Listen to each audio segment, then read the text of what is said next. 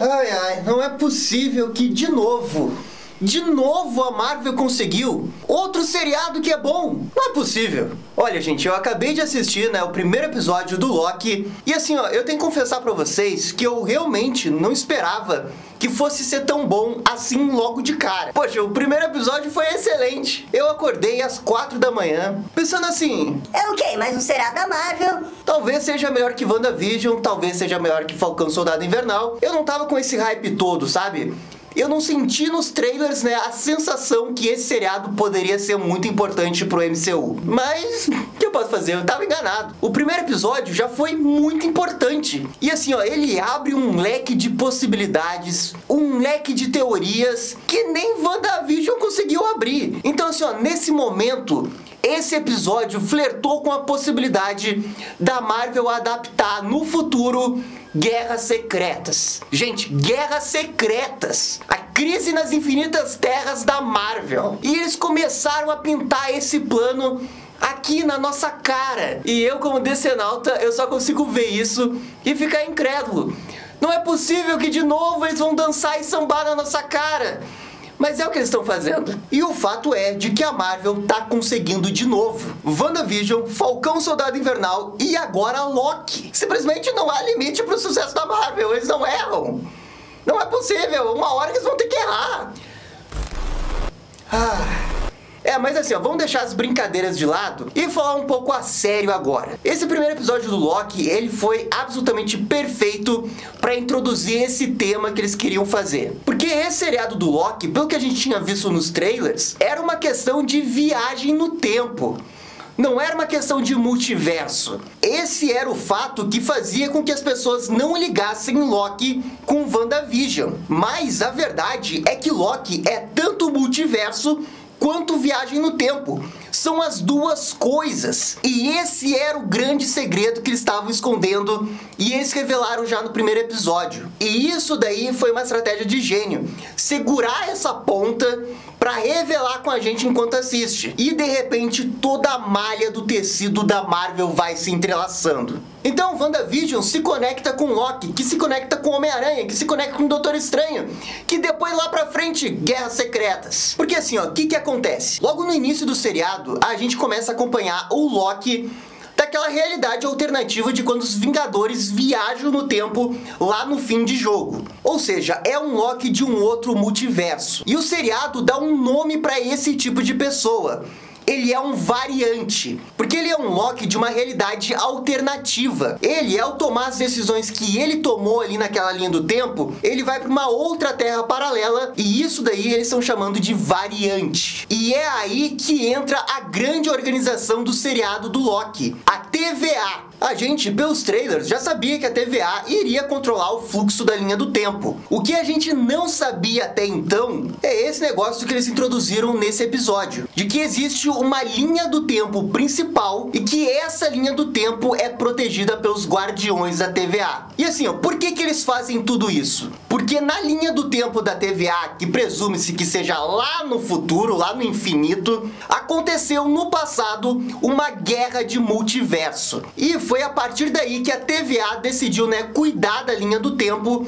para que exista apenas uma linha principal e que essa linha do tempo não crie nexos, não crie variantes para não possibilitar o multiverso e consequentemente aconteça uma guerra. E tudo isso é explicado em 2, 3 minutos, um conceito super importante que é muito bem explicado ali no seriado. E assim, ó, por que, que eu tô citando Guerras Secretas? É porque a saga das Guerras Secretas a nova de 2015, ela começa justamente com uma guerra de multiversos, com várias terras lutando entre si, até que sobram só duas, a do 616 e a do Ultimate. Essas terras se colidem, meio que se forma uma nova terra, onde surge uma nova terra que acontece um monte de coisa, tipo uma batalha campal de heróis de multiversos, negócio incrível. Então, senhoras e senhores, o que, que a gente presenciou nesse primeiro episódio foi o primeiro passo da Marvel de querer chegar a esse ponto do Guerras Secretas. Eu com certeza não acho que tenha sido coincidência, e assim, ó, eu posso estar muito enganado,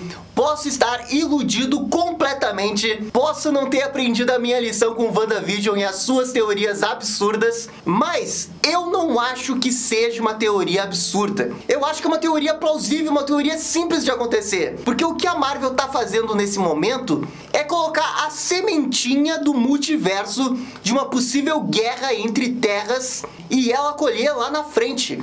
Isso é realmente impossível de acontecer? Eu realmente não acho que seja assim tão impossível. E eu devo lembrar também que a grande equipe do Guerras Secretas é o Quarteto Fantástico. E qual que é o filme que a Marvel anunciou para daqui a dois, três anos?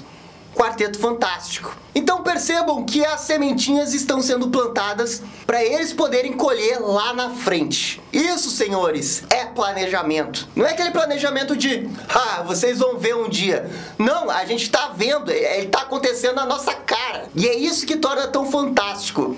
Porque mesmo a gente sabendo o caminho da Marvel, a gente ainda consegue se surpreender com ela. Então, no grande esquema do universo da Marvel, o seriado do Loki agora tá numa posição muito privilegiada, porque ele de fato pode ser muito relevante. As dicas disso não foi nem um pouco sutil. Eles usaram a palavra Nexus, que faz ligação com WandaVision. Eles colocaram em negrito ali a palavra perigo multiverso. Então, eu não duvido, por exemplo, que no final do seriado do Loki, o Loki ou mesmo o vilão do seriado acabe destruindo a TVA, e isso lá na frente vai resultar na criação do multiverso e na coexistência de várias linhas do tempo que irão eventualmente se colidir numa guerra. Vocês estão vendo os movimentos aí da possibilidade?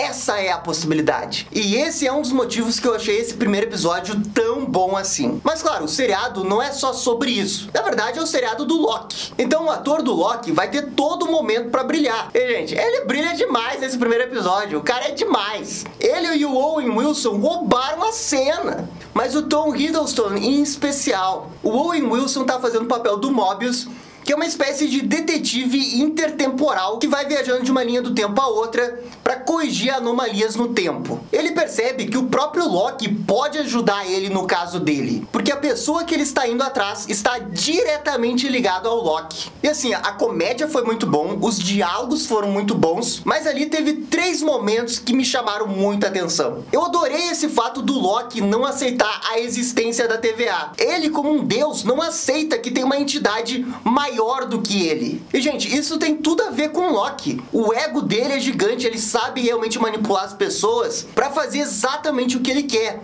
Agora, imagina a cabeça dessa pessoa quando ele descobre que tem uma entidade maior que controla todo o fluxo do tempo. Cara, ele iria surtar. E ele surta no episódio, mas não surta do tipo fica louco.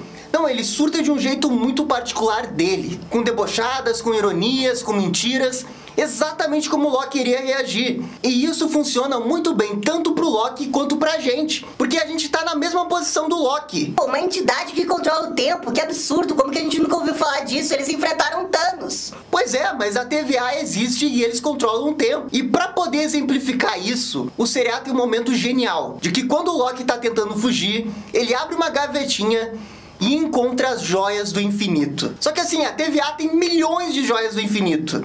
E ali as joias do infinito não servem para nada. É peso de papel. As joias do infinito, gente, que fizeram as três principais fases da Marvel é um peso de papel agora. Gente, que metáfora, que jeito de dizer. Esquece joias do infinito agora. O negócio é linhas do tempo, é multiverso, é o que a gente vai querer fazer. Esquece Thanos, nova fase. É isso que eles estão dizendo. E quando o Loki percebe isso, a gente percebe isso. E esse é um momento puro de storytelling que faz com que a gente se coloque no personagem do Loki. E um dos motivos desse episódio ser tão bom. E eu também adorei a cena do D.B. Cooper como Loki. Gente, esse era um negócio que eu tinha visto no trailer e eu achei genial. E agora que eu sei como que funcionou dentro do seriado, eu achei que ficou ainda melhor. Porque aquilo dali era uma pegadinha que ele fez com o Thor quando ele era mais jovem.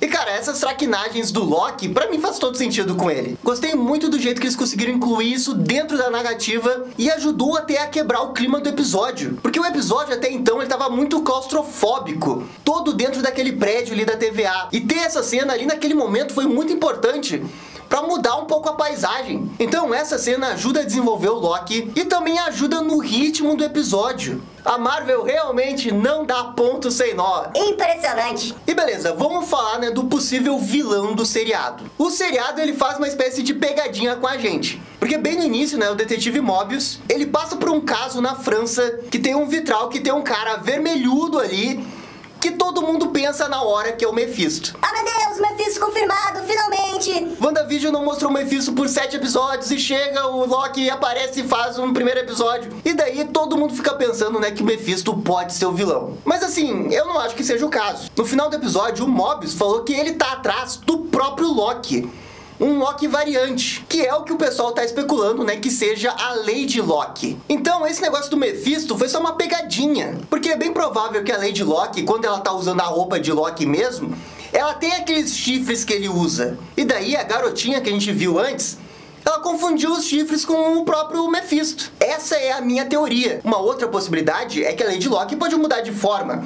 Pode assumir a forma do Mephisto, por exemplo, para justamente fazer uma traquinagem com a criança ali. Eu realmente não duvido que seja alguma coisa assim. E ao fazer essa traquinagem, ela nos engana também. Então eu não duvido que o seriado vá fazer essa brincadeira por mais alguns episódios. Aqui ó, é 7 e meia e o Mephisto já é trending topics no Twitter. Eu quero dizer que eu realmente não acho que o Mephisto vai aparecer em qualquer momento nesse seriado. Eu acho que realmente foi uma grande pegadinha e o pessoal meio que tá caindo nela. então esquece o Mephisto e aposte na Lady Locke. O que que tá acontecendo? De novo essa sensação? Ah não, Gabriel da Terra 3!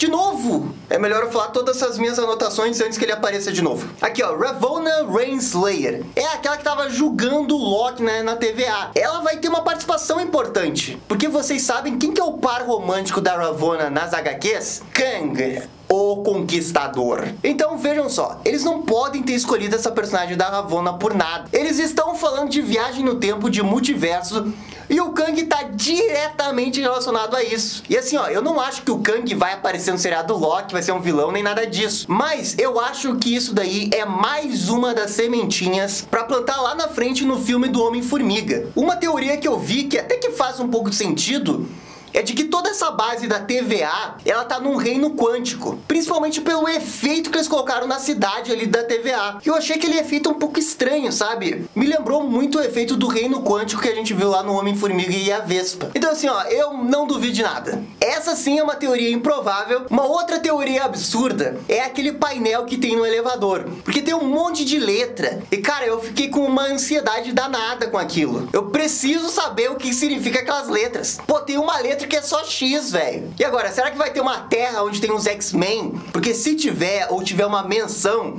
eu vou surtar, velho. Eu vou surtar porque acabou. Acabou. Daí acabou. Mas eu acho que isso é uma teoria bem absurda. Acho que não vai acontecer. Mas sei lá, né? A gente passou pelo WandaVision. Tivemos teorias bem mais absurdas que não se concretizaram. Mas essa altura do campeonato eu não duvido de mais nada. eu estou livre! E estou na terra do Gabriel da Terra 1. Agora, Gabriel, você está preso. E eu estou livre para falar de Loki o quanto que eu quiser. Ai, ai, Gabriel da Terra 3, leva engano. Você que está iludido, porque eu estou elogiando pra Dedel o seriado Loki. O quê? Mas não é possível, você é decenalta. Você não pode gostar de coisas da Marvel. Eu sou o Gabriel da Terra 3, eu sou o Marvete. É, mas dessa vez eu gostei bastante desse seriado da Marvel. O que, que eu posso fazer? Pelo menos nisso, nós podemos concordar. Ok, Gabriel da Terra 3, pode sair, pode sair, porque se a gente continuar aqui nessa mesma terra, vai saber se não vai acontecer uma guerra temporal entre as duas terras. Eu não quero mais me meter nessa confusão. Tá bem, tá bem, eu saio, mas eu voltarei. Eu voltarei. Ai, ai. Gente, essa foi minha primeira impressão do primeiro episódio de Loki. Lembrando que tudo isso é só minha opinião. Eu tô muito curioso para saber a opinião de vocês. O que, que vocês acham que pode acontecer nos próximos episódios? Por favor, comentem aqui embaixo. Valeu, gente, e até a próxima. Tchau, tchau. E essa foi a nossa reação ao primeiro episódio do seriado Loki. E aí, gostaram? Não gostaram? Deixem suas opiniões nos comentários. E se curtiram o vídeo, deixe aquele joinha e inscreva-se no canal para ficar sabendo absolutamente tudo sobre Batman. Obrigado, gente, e até a próxima. Tchau, tchau.